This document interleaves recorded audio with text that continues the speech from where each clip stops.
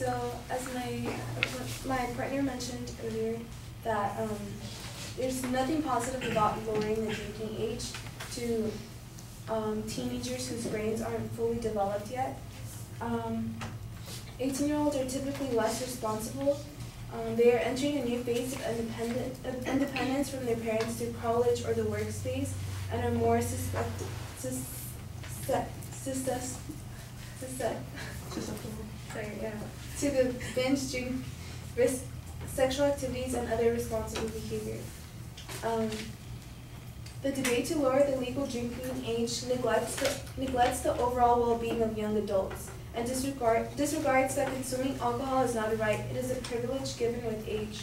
The arguments start stating that at 18, you're, at 18, you're given all these responsibilities for being an adult, such as voting or driving, or ignoring the fact is ignoring the fact that voting is a right, not a privilege. Just like drinking and drink, just like driving is not a right, and you must be of certain age. You're not, and yeah, okay. Uh, by lowering the drinking age, it would be putting a um, societal stamp on approval of approval on the damage that alcohol can cause in the developing brain. Emotional development, organization, and planning can all be affected by early and regular alcohol consumption.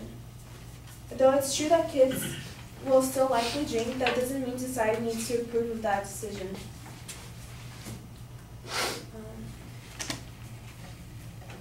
Um, again, I'd like to mention that since states began setting the legal age at 21, the law has been one of the most studied in history.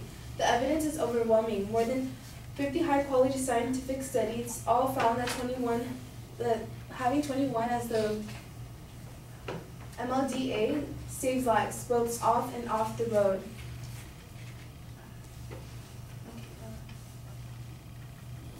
Um, alcohol is the most commonly used and abused drug among youth in the United States. Excessive drinking is responsible for more than 4,300 deaths among underage youth each year and cost the U.S. 24 billion in economic costs in 2010. So lowering the age doesn't really solve any problems. Um, instead, it just opens up the doors at an earlier age to all these negative things about drinking. Um, some might argue that it means might be part of their culture, but that's not another reason. That's not enough a convincing reason to accept um, these negative outcomes that come with drinking. Um, drinking also causes violent behavior. According to Mothers Against Drunk Driving in 2010, the highest drunk driving rates were found amongst the ages of 21 to 25 and 18 to 20. After the age of 25, the drunk driving rates decreased um, according to the